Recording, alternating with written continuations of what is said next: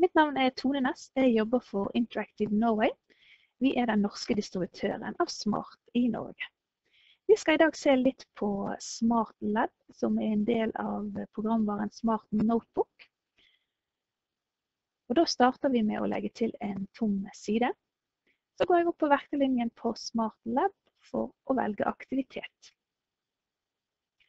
Da får jeg opp en oversikt over de ulike aktivitetene som finnes.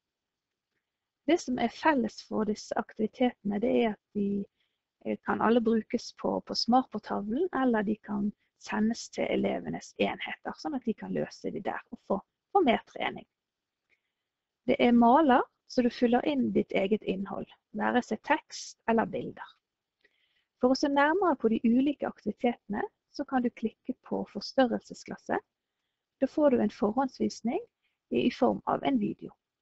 Så her ser vi aktiviteten Fyll inn tomrommene, der man kan bruke sin egen tekst eller kopiere en tekst fra nettet.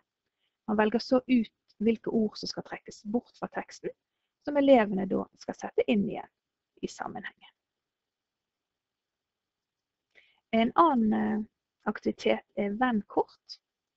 Her kan man lage sine egne flippkort og bestemme sjøl hva som skal stå både på baksiden og eh, på forsiden av kortet være seg tekst eller bilder.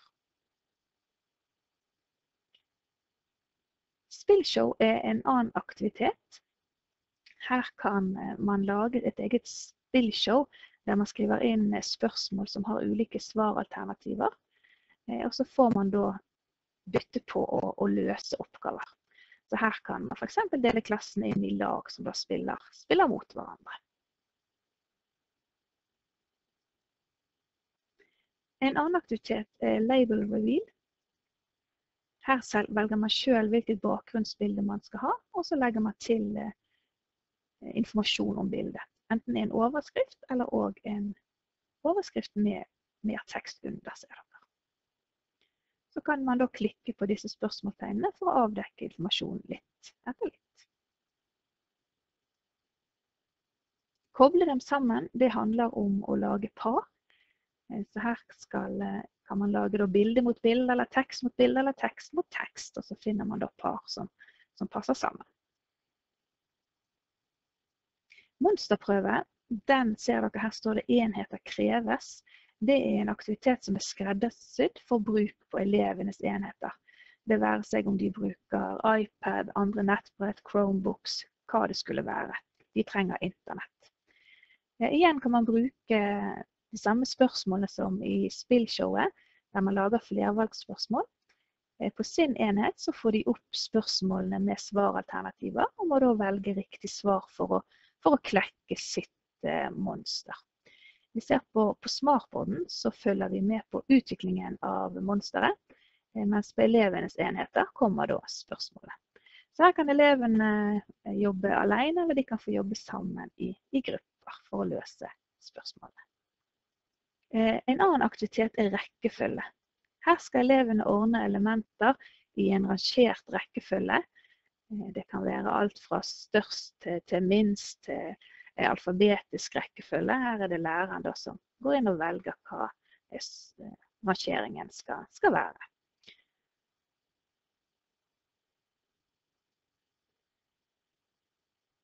Del budskapet. Da ser vi igjen at her får vi opp denne enheten kreves det er en aktivitet der elevene ved hjelp av sine enheter kan sende sine ideer, sine tanker opp til tavlen.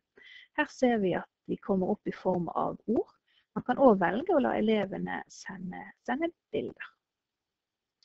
Fin måte å, å starte med et nytt tema på.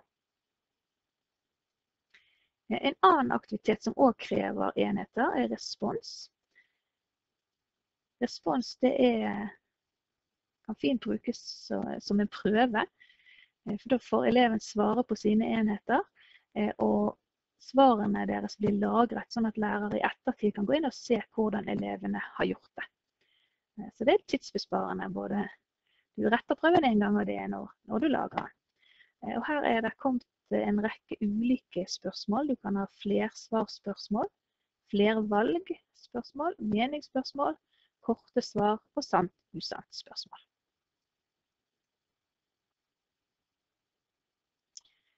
Så har vi òg en, eh, en som heter supersortering. Eh, det er rett og slett å sortere i, i kategorier. To forskjellige kategorier. Eh, siste er speedup. Det er en, et bilrace der elevene skal svare direkte på tavlen, smartbordtavlen. De får da ABCD å velge mellom, og får da hver sin knapp å trykke på. Og Svarer de riktig, får de lov å gi boost til sin bil, sånn at den kommer raskere frem. Så det er om å gjøre da å komme, komme først i mål.